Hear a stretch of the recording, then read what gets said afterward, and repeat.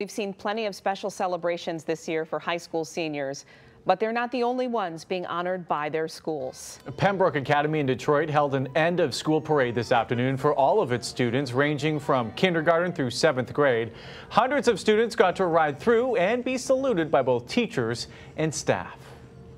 These kids have worked so hard, they've persevered, and we just decided that we're going to reward them with a parade. All the teachers, um, are here to cheer them on, honking, cheering, music, and uh, just celebrating um, what they've been able to accomplish through adversities.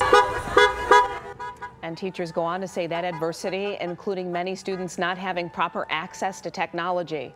The school was able to help that by providing computers for them to use while learning remotely.